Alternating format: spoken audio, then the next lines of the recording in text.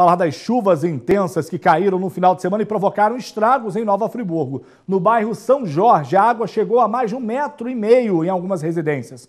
Moradores agora estão contabilizando os prejuízos. Acompanhe só. A casa de Fabiana foi uma das mais atingidas na localidade. A força da água era tão forte que parte do muro quebrou. Foi um susto enorme.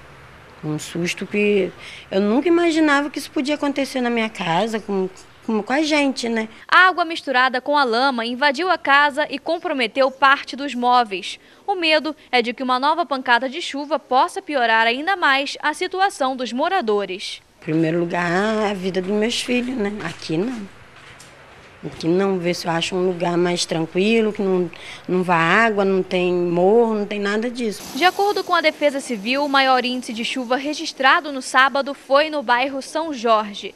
Em menos de uma hora, mais de 80 milímetros só naquela região. O córrego que passa ao lado da casa de Fabiana estava assoreado. A galeria não deu vazão e a água acabou invadindo ruas e residências. Ontem mesmo e hoje a secretaria, subsecretaria de conselheiro está fazendo a limpeza. A gente acredita que com a limpeza não venha ocorrer de novo.